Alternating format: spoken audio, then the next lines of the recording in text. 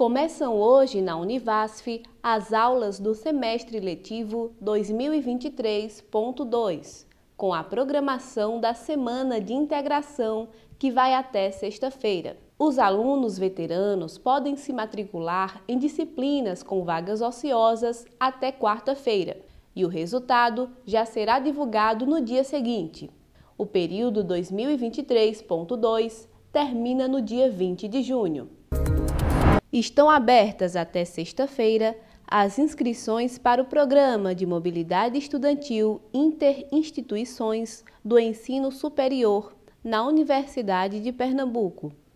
Os estudantes da Universidade Federal do Vale do São Francisco que desejam cursar disciplinas na UPE devem estar regularmente matriculados no ano civil de 2024 e cumprir todos os outros pré-requisitos exigidos no edital. Os candidatos devem se inscrever pelo e-mail dpge.proem@univasf.edu.br, preencher o formulário de inscrição presente no edital e anexar a documentação exigida. O resultado final vai ser divulgado no dia 22 de março. Domingo é o último dia para submeter trabalhos para o quinto encontro Norte e Nordeste de Psicologia do Esporte e para o primeiro simpósio Práticas Corporais e Fenomenologia.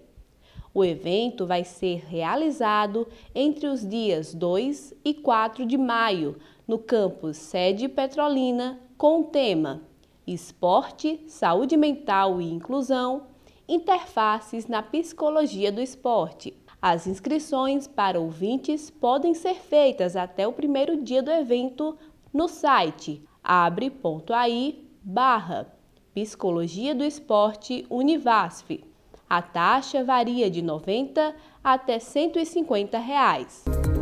O Se Liga Univasf fica por aqui. Até a próxima!